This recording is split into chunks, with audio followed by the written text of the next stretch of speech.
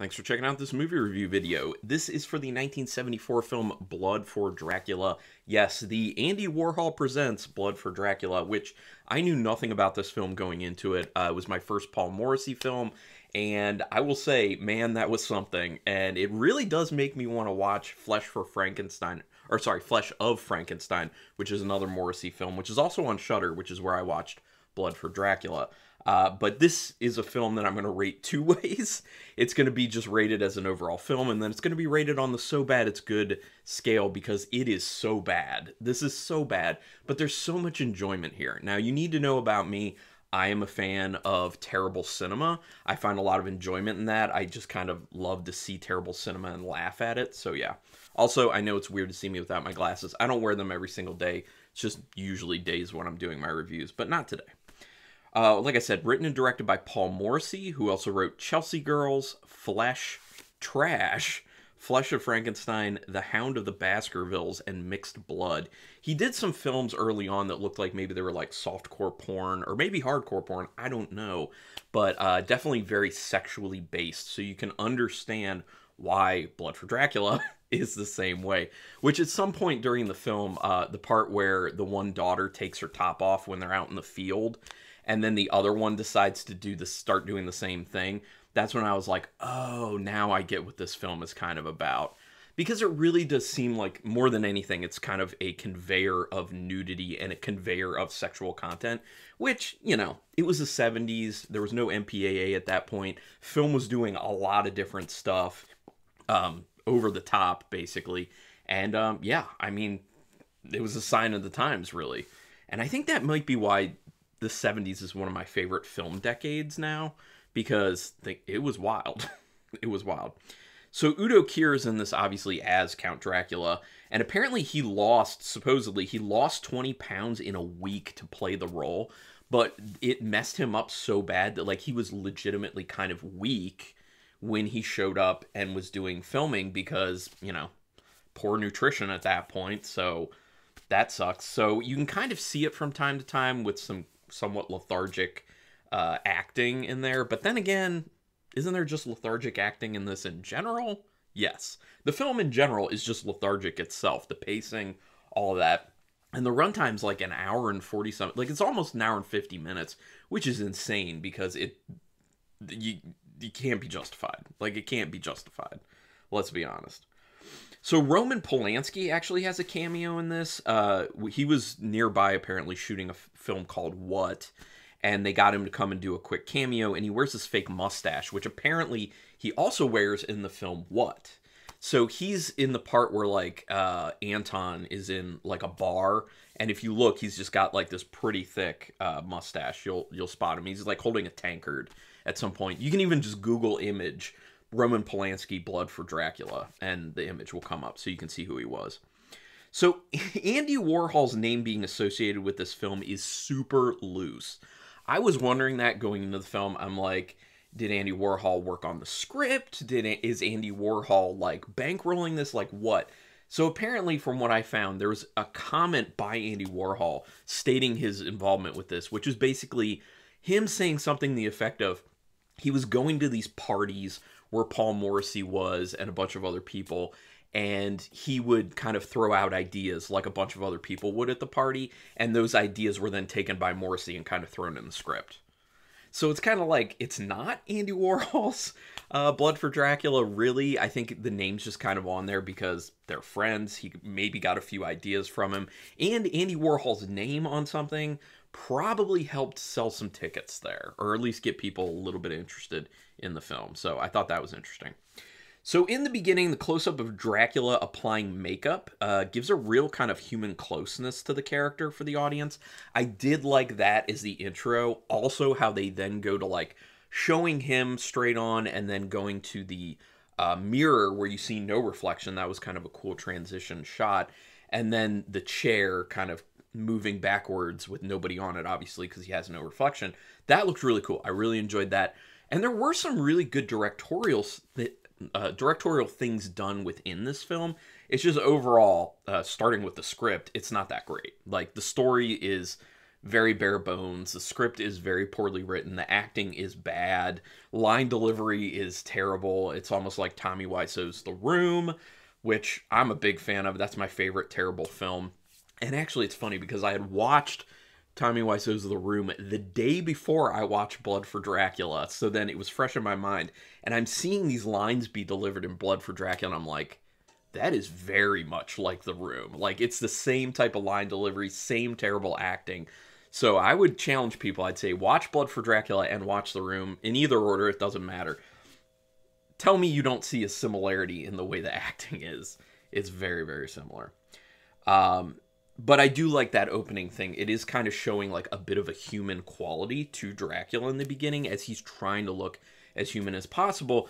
And it could be a thing where it's just he's just trying to look human so people won't be reviled by him immediately because he looks so pale otherwise and gaunt but also it's it could be showing that like he still has a bit of a desire to kind of like relate to people and be kind of human now i was thinking that immediately watching this thinking maybe it's a better film so after the film goes on for a while i was thinking back and i'm like no this is probably more of the the whole purpose of just not wanting to scare people off than any sort of deeper meaning about wanting to be human because there's no deeper meaning with this film really i think there may have been an attempt at a deeper meaning at one point, which I'll talk about later, but it, it you can't tell. Like it gets lost because it's so poorly done. Not directorially though, like I said. The long talk about uh, about what Dracula can bring to Italy is just odd, and that's when I first started getting flashes of Tommy Wiseau's The Room. You know, the the dialogue uh, uh between um, Dracula and Anton, his servant, where they're just like, "I can bring this, I can't bring that," and it's just like he even like says that he's worried about just strapping his coffin to the top of the car because it's like people are going to think that's weird, but then he just does it anyway. It's just there's a lot of like for no reason in this film and there actually is a lot of dialogue where like one thing will be said at one point and then a little bit later the total opposite thing will be said by like the same character and you're just like this makes no sense. You literally just said something different a little bit ago. It's weird. Totally weird. As soon as the one daughter popped her top off in the field, I understood what the film was truly about, especially because of the fact that she's like, oh, it's so hot, it's so rough out here. They hadn't even been working in the field. She used the hoe that she had like two times. She like two swipes with it and was just like, oh god, this top's got to come off. It's got to come off. By the way, best cat dad ever. Just saying. Quick sidetrack. But yeah, then I saw. I'm like, this is what this film is about. It's about the nudity. It's about the sexual content, and it pretty much is. I like how the first couple Anton talks to is very willing to find Dracula a virgin to marry. Not any questions, really. Uh, that's kind of a theme where people just kind of go along with the whole Dracula thing. I think maybe it was intended that people are that way with him just because, or with that way with Anton as well, just because of the moniker, or I'm sorry, like the prefix of Count to Dracula's name that people just automatically assume, assume he's rich, he's on the up and up, he's a good person, probably we can trust him, or they're just kind of seeing dollar signs and just being like, man, whoever marries that guy is gonna ching ching get some cash. But it's just weird because people don't really question Anton or Dracula throughout the entire film for the most part, except for Bernardo. Bernardo's really the only one. He's supposed to end up being the hero in the end, but He's not really a hero because he's a sexual abuser, um, he's a criminal, really. Uh, it's mm, yeah, I'll talk more about that in a bit. I like how when Dracula is complaining about Italy, he says nobody will talk to them because they're foreign. Anton had literally just been in a lengthy conversation as soon as they got to town. Like this is what I'm talking about about like one thing in the script and then something like totally contradictory a little bit later in the script. Like literally Anton and Dracula are having no problems talking to people. They don't even care that they're foreigners really. They're not asking any questions. They're not suspicious. Yet he's just like, "Oh, we can't even talk to anyone because we're foreigners." It's like predicated on what? You've been doing just fine as soon as you got to town. And this is what I'm saying. The writing is awful. Dracula's freak out of shaking and making random noises on the bed was hilarious. Now, obviously, that was just the first of a few of these to come. I love that. Those are my some of my favorite moments of the film, to be honest. Where Udo Kier is just going over the top, like with the body shakes and and puking and just like making all these guttural weird noises. Uh, very hilarious in my opinion. So I love, love, love that part of the film. It's ridiculous. There's even that part where he drinks the first bit of non-virgin blood and they literally tint his uh, skin green. I was like, this is weird and it looks terrible, but it's hokey and it's ridiculous and it goes with the whole feel of the film. Sorry if you hear a dog outside because crappy neighbors. It's wild that the Di Fiores invite Anton and Dracula to just come stay with them. Anton is odd, and they haven't even met Dracula at this point. I guess that's supposed to kind of show like how hard up they are for money because they talk about it numerous times within this that this is kind of like an old money family family that's crumbling because there's a little bit of like social revolution and also you just get the idea that they haven't kind of managed their money all that well. So they're just like desperate. They see dollar signs with Anton showing up and saying, you know, a count is coming and needs a bride. They're like, uh, she can marry into this family. We can get a bunch more money. We don't have to go become destitute, basically. Because obviously they don't have any plans to like get jobs or like find a way to earn income. So I don't know. But it still feels weird that they have like no questions for Anton. They're just immediately like, why don't you guys just stay here? They don't know who they are. And then terrible things happen because they didn't, you know, ask questions or anything. The blood soaked bread scene is odd. So I got the idea that what had happened is that Anton had killed a virgin and soaked the bread in the blood and then gave it to Dracula and Dracula's like eating it. I mean, can Dracula eat bread though too? Because it's not just the blood, he's also eating bread and he doesn't eat anything else throughout the film that's non-blood. So it's like I don't know. It's it it's just a weird weird scene. I didn't hate it, but I was very confused by it. Cool camera work that goes around the bed and then shows the open door and Bernardo Bernardo standing in the hall. That's right before that, you know, most sexual scene that there is in the film. But it was really cool camera work, and this is what I'm saying. Like the directing's not bad, the cinematography's not bad. There's some really cool like shot angles. There's some really cool camera work movements it's it looks good for the most part it's just a lot of other stuff not so hot a bit odd that one sister ends up watching the other sister bone bernardo and then those sisters start to like kiss and make out and you get the idea they're headed towards getting it on with each other so there's like at least implied incest like borderline incest going on in this it's just it's wild. Like I was saying, like it's wild. It's like over the top. It's obvious this is mainly just for sexual content.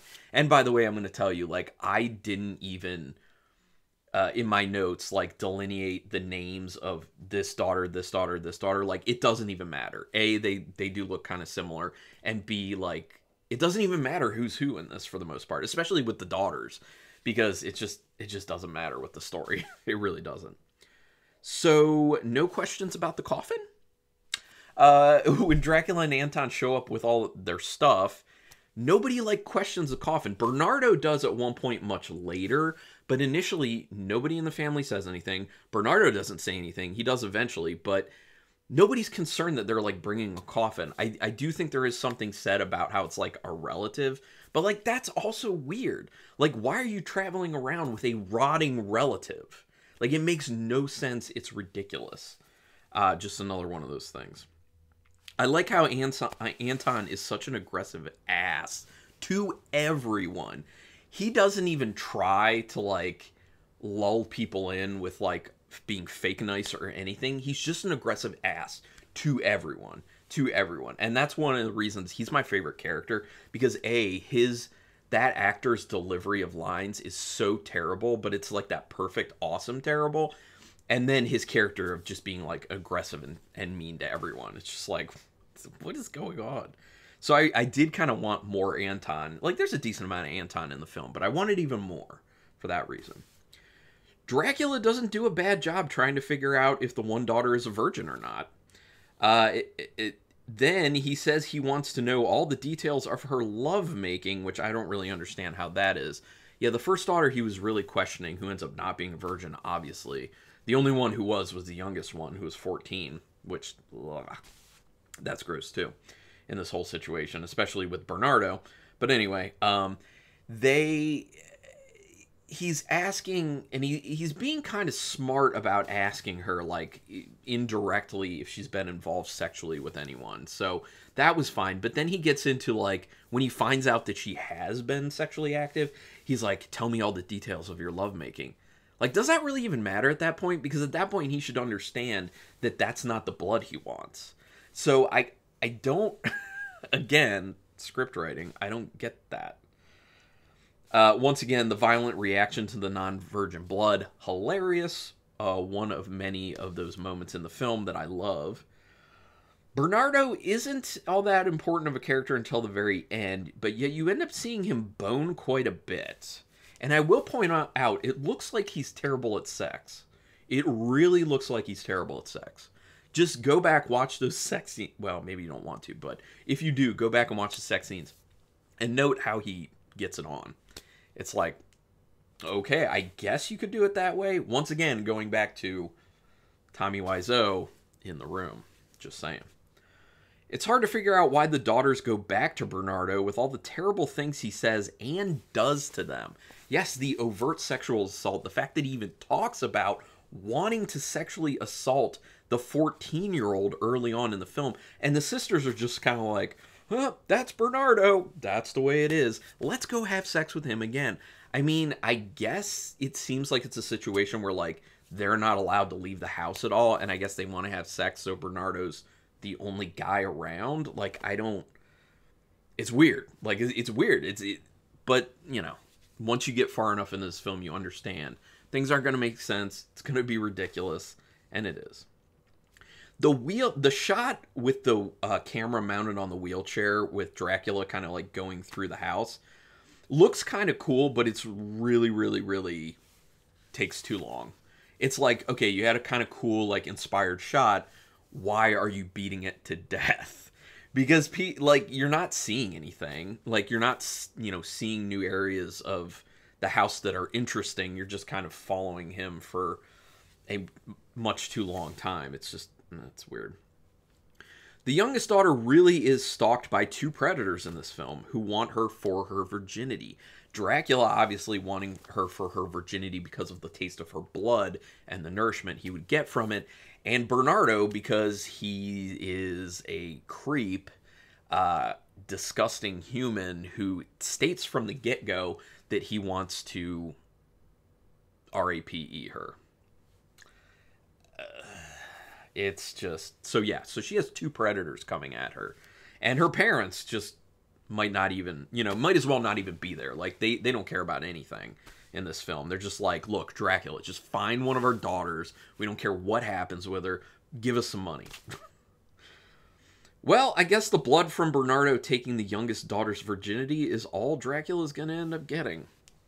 And i do kind of i do like the scene to a degree of him like on the floor just like slurping that up. Like it's gross for sure when you think about it, but also, you know, just drinking blood in general is gross, but it shows his desperation. And that is like one of those moments that's not horrible in the film. Like it's actually a decent moment in the film. It just shows like how hungry he is and to what level he'll sink in order to just get some nourishment in him. And you know, everyone gets to that point at some point if you haven't anything to eat. It is obvious the eldest daughter has been bitten because she shows up with a scarf around her neck or some sort of material. And then she's also at, at acting very odd and her eyes get like super huge and she's just like almost zombie like in the way she's acting. It's like it would have been more impactful if they had kind of hidden that or at least tried harder to hide the fact that she was like that because then it could have been a surprise later. But no i mean it was it was telegraphed like crazy. I like the gr- gradual disembo- uh sorry dismemberment. The gradual dismemberment of dracula. I love the kind of like blood spray that comes off. The way it's done because the prosthetics don't look that great and there's no like really great looking gore to it um it just makes it that much more ridiculous and funny and it fits with the film. I love it.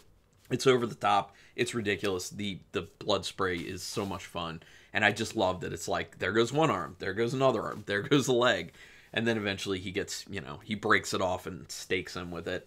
Uh, and then the oldest daughter who has been bitten is like professing her love for him and she like didn't see this coming throws herself on top of the stake that is through his heart to kill herself as well now i was hoping at that point that the other two daughters who had already been bitten would also come and do the same thing because it would just take it to that next comedic ridiculous level which i mean at this point why not like you had to know making this film paul morrissey they it's terrible. It's over the top. It's ridiculous. Like people are gonna laugh at it. You had to know. So like, just go whole hog and get those other daughters on that stake. Just do it. Have them throw themselves on. It would be awesome. Anyway, that was yeah. Immediately, the dialogue seems horribly written and is horribly delivered. I already talked about that. Um, there are moments in this film where the lighting is super harsh, especially in the beginning, where like faces are being overlit like crazy. So the lighting is problematic a lot of the times within this film. There are a bunch of odd camera angles that give it a quirky feel, uh, and I think the music actually serves to enhance that. The music also is like over the top and ridiculous, which just kind of adds to the whole feel of the film.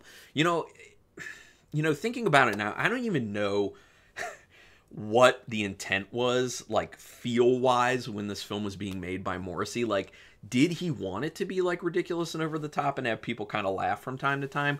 Or was he being totally serious with what he was putting out there? I don't know. It's just so hard to tell. There are plenty of scenes that really have no point. Why are they even here? Like, literally, there's a lot of that. And I think that's why, part of why you end up with such a slog through the film. Like the runtime is way too long for what it is, and with all these kind of like for nothing scenes that are thrown in there, it it just the pacing's terrible. Pacing is just awful, and there's really like barely any story to it. What's the story? Count Dracula is trying to eat, and the family on the other end, who's like willing to give up one of their daughters, is looking for money. Like that's it. That's it. Like there's like no real intrigue within this film. There's like no plot.